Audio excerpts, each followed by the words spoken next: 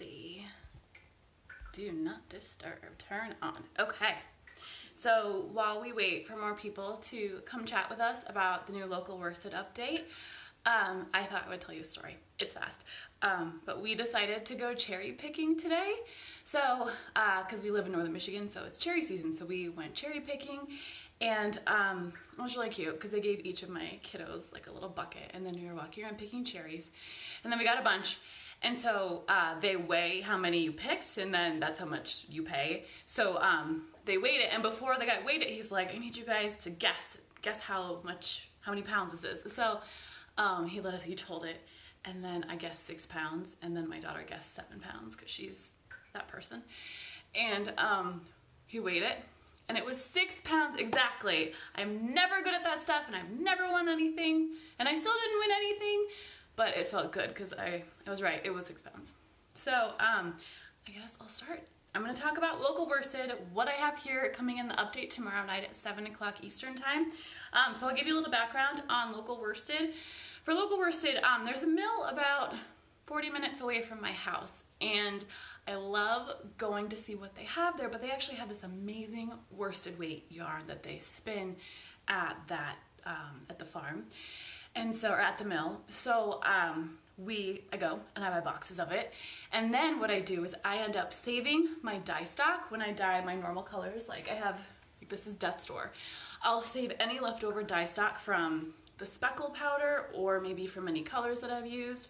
I'll save all the dye powder in a jar, and then when I have enough in the jar to be able to dye an entire skein of yarn, I pour it onto my local worsted yarn and then that's it. So all the local worsted skeins are 100% um, one-of-a-kind colors. They're not repeatable. I can't, I mean, I would almost call them happy accidents because I can't repeat exactly what I did to make these colors. So not only are they local, they're from, like, they're made locally in Michigan, about half an hour away from my house.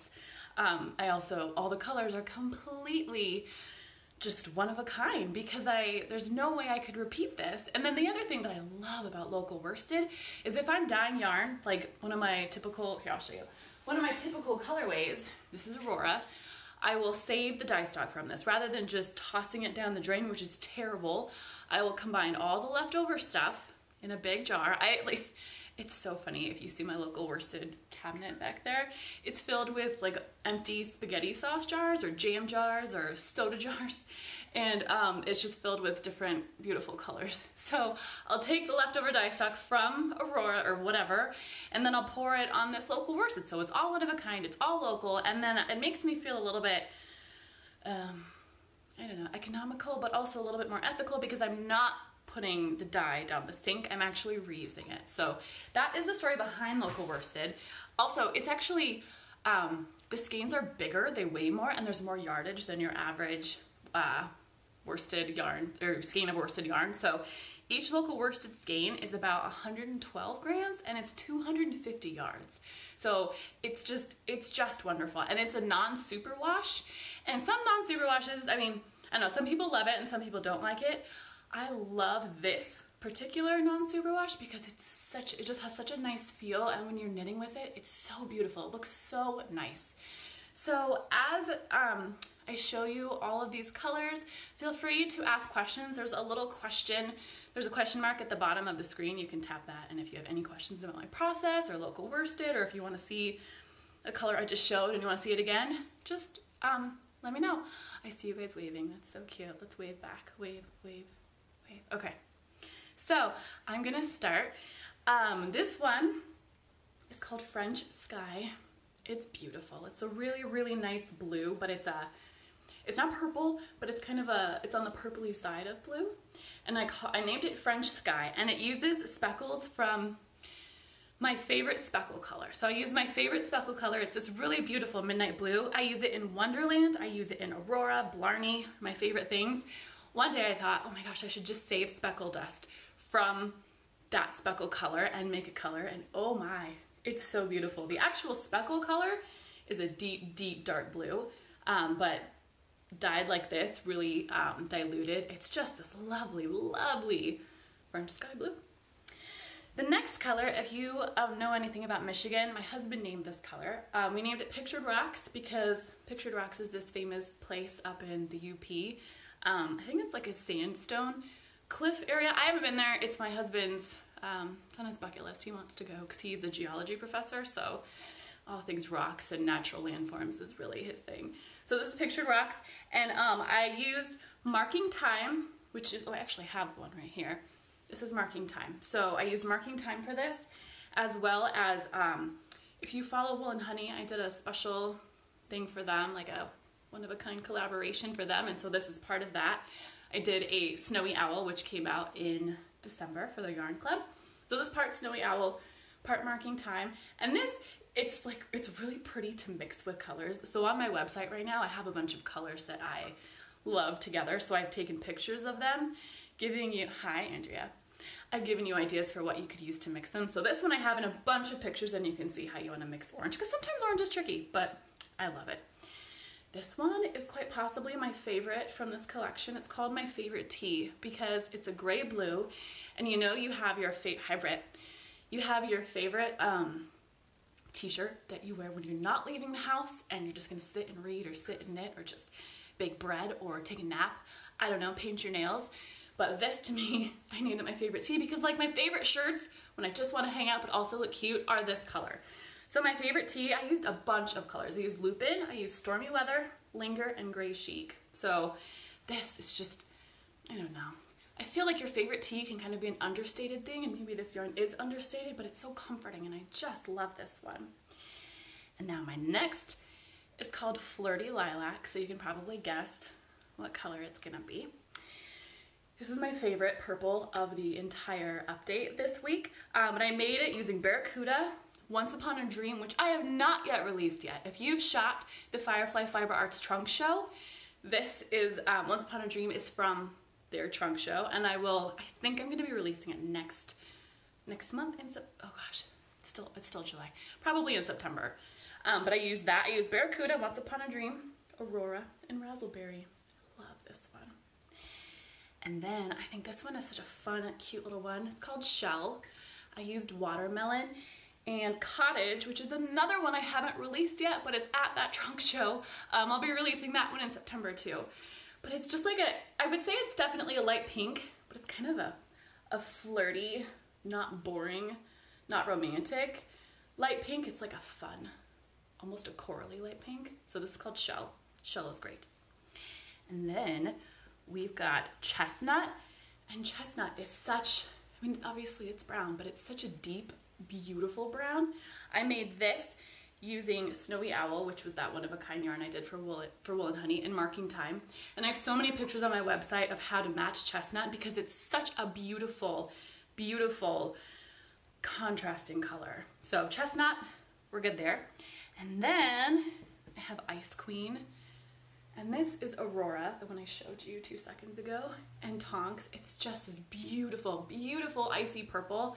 It's one of my favorites and I almost every update that I do for local worsted, I think this is my third one this year because I can't do it very often. It takes me forever to save up yarn or to save up um, dye to dye enough for all these skeins. So this one, I always usually will have an, a light purple like this in my shop and it kind of varies in tone, but this is Ice Queen this time. And then I've got here, this one is called Alex and I made Alex using Death's Door in Wonderland. So it's just kind of a really nice green, but I would say it's a little bit of a blue green, not a yellow green. It reads a little bit more blue. And then here, I think this, this name is one of my favorites. This one is called Lippy. And Lippy, I used Wonderland, Barracuda, and Tonks. So it's just like a real nice, blushy, sassy, pink. Oh, also, you know when you go to the store and you buy a lipstick and then you open the lipstick tube and it's perfect and no one's used it. So this, from this color reminds me of that perfect tube of lipstick. So this is Lippy.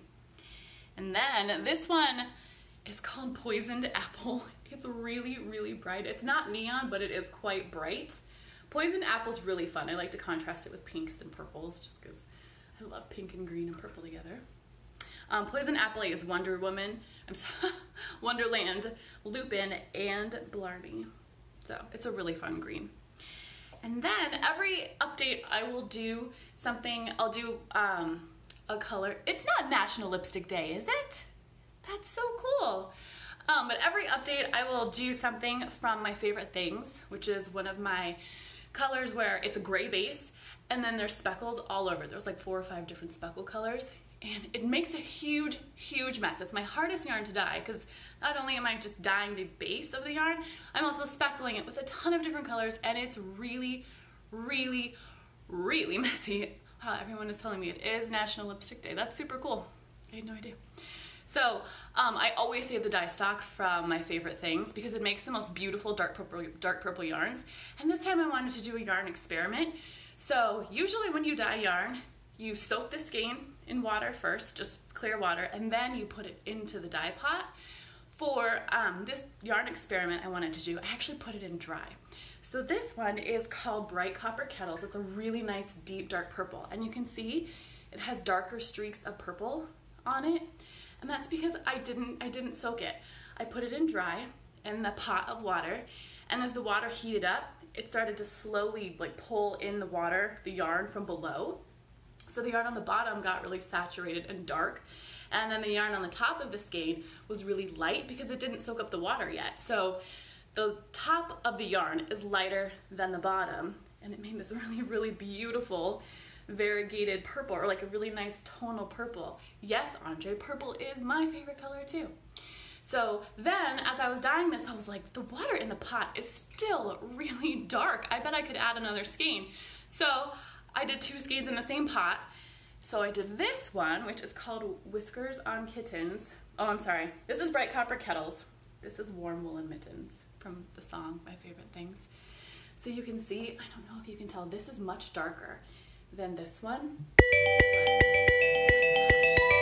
sorry, the bookstore was calling me. Do you want to hear a funny story? Um, Kristen Bell, don't leave my live feed to go check it. Check it later. But Kristen Bell was just um, writing about her favorite bookstore and she tagged my bookstore, like not the one I own, but my local bookstore that I go to all the time. So I just told them and now they're calling me back, which is exciting. Anyway, this is Bright Copper Kettles. This is Warm Woolen Mittens. It was part of a really fun dyeing experiment, but I don't know, I really, really love how they turned out. And then the last two, I have this one called Silk Slipper.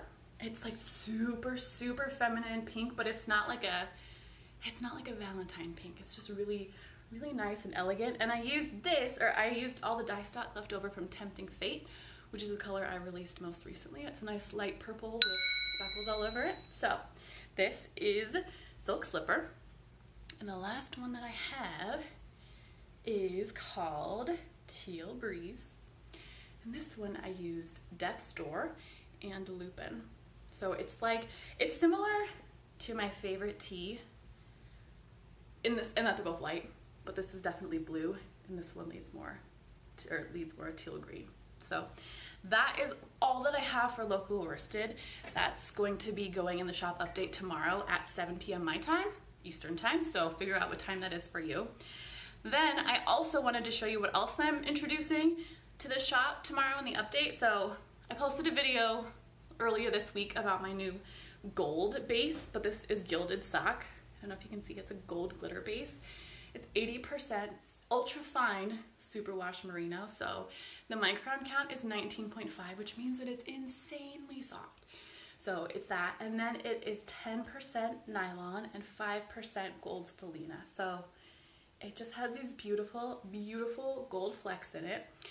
So I'm releasing this. I only ordered, I'm gonna tell you the truth, I ordered 10, 10 skeins. I ordered two packs. When you order yarn, you get, usually it's five to a pack.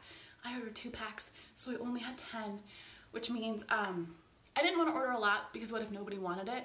But everyone's been really excited about this base. So if you like the gold order the Gilded Sock. Get on at 7 p.m. tomorrow so that you can get one of these because um, I think they're going to sell out very quickly.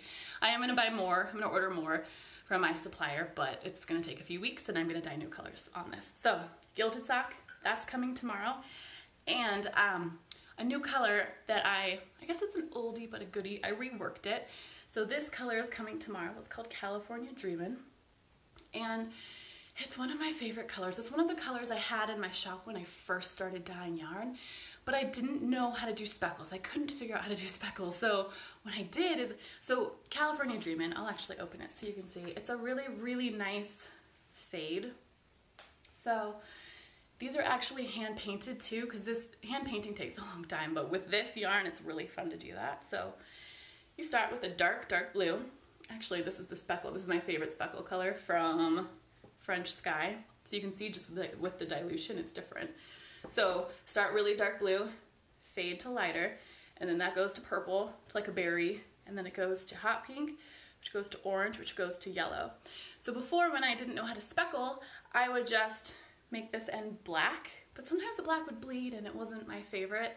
So when I finally figured out how to speckle like a champ, I um, decided let's bring this back speckled instead of having a big black streak. So now it's all speckly and beautiful. And if you're wondering how this looks worked up, I've been working on a sock pattern because I have lots of really, really bright variegated colors. And sometimes it's hard to figure out what to knit with them. You want to find a good stitch pattern that highlights the colors like in your pattern of your yarn because you spend all this money on a hand-dyed yarn. You want it to look really nice. So I'm working on a new sock pattern that will highlight like texture. So it'll highlight the different stitches and the different colors. So this is it. And this is what um, California Dreamin' looks like. And this is actually on the gilded sock base. It's really hard to show you the sparkles in here, the gold glitter, but it is in there. So this is what California Dreamin' looks, looks like worked up. So I think it's amazing for a sweater or accessories. I was actually putting it on. I'll show you, I have two socks going right now. I was putting it on as a sleeve and look how cute it is. Do you see that? I love it. So shop update is tomorrow at 7, my 7 Eastern time. Um, whenever I've done a local worsted update, they go within 24 hours, they're all gone. So if you see anything that you love, definitely jump on that, add it to your cart. I'm gonna keep the, on my website right now, I have all the local worsted colors up so you can see them and I have pictures with them mixed together so you can see what colors look good together. I will be taking that down to probably tomorrow morning because I need to update it and add quantities for how much yarn I have. Right now it says sold out. It's not sold out. I just haven't even put it in quantities yet. So check it tonight if you want to know what colors look good. And then um, everything else is going to be available at 7. So if you have any questions, if you want to see any colors again, just type it in the questions right there and I can, I'll answer what I can.